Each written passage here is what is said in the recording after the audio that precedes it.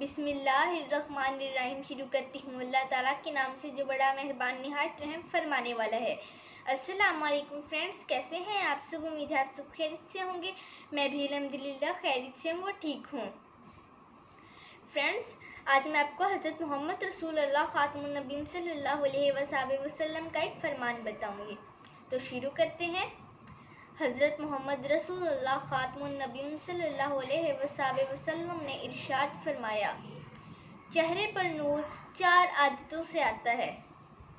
छोटों पर शफकत करना, नमाज़ पढ़ना, हलाल रिस्क खाना और हमेशा सच बोलना। यानी जब हम छोटों पर शफकत करेंगे, हमेशा नमाज़ पढ़ेंगे, सच बोलेंगे और हलाल रिस्क खाएँगे तो हमारे चेहरे पर नूर आएगा। फ्रेंड्स मुझे कमेंट में बताएँ कि क्या आप ये चार आदतें अपनाते हैं? सो so फ्रेंड्स ये थी मेरी आज की वीडियो उम्मीद है आपको मेरी वीडियो बहुत अच्छी लगी होगी. तो मेरी वीडियो को लाइक करें और मेरे चैनल को सब्सक्राइब करें और मेरी वीडियो को शेयर करना मत भूलिएगा. अल्लाह हाफिज़ फ्रेंड्स